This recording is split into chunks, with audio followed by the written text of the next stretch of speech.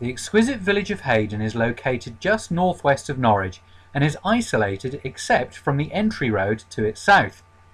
It is one of the very few English villages which are privately owned, in this case by the Bulwer Long family.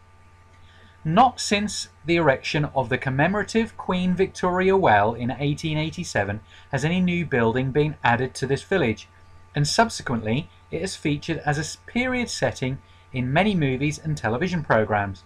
The picturesque houses and cottages, plus the 400 year old hall itself, designed by Henry Dynne, lend a suitably old world feel to the surroundings.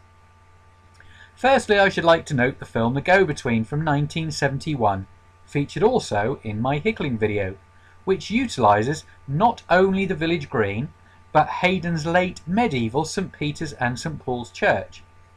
The film is a torrid tale of forbidden love, directed expertly by Joseph Losey, and starring Julie Christie and Alan Bates, along with an Oscar-nominated supporting role from Margaret Leighton. This is a highly regarded, richly detailed period piece about social turmoil Innocence Lost, and Mixed Affections, with British cinematographer Gerry Fisher's photography glowing and subdued in equal measure. Alan Bates clearly likes Heydon, because he also stars in this next film, the obscure John-Paul Davidson directed horror comedy The Grotesque from 1995, and its tagline, Beneath the surface of respectability lies the shadow of our darker side.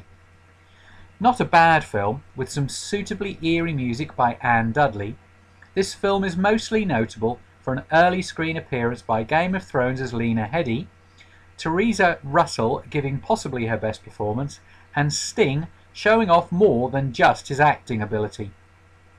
The hall itself, among others including Blickling and Felbrigg, features in my next entry, 2005's convoluted period comedy drama A Cock and Bull Story, directed by Michael Winterbottom and starring Steve Coogan, Jeremy Northam, and Rob Brydon. This is a story of actors and the size of their parts, among other things. A first class production which just falls short of being a great film, definitely worth seeing even if, like I, you are not a fan of Coogan. Thank you for watching Heydon Village Part 1 and I hope you've enjoyed this slice of diversity.